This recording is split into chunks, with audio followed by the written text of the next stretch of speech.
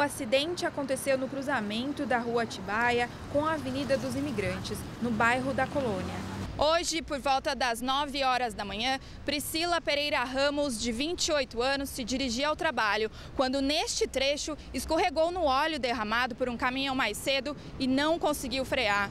Priscila foi atropelada por um ônibus e morreu na hora.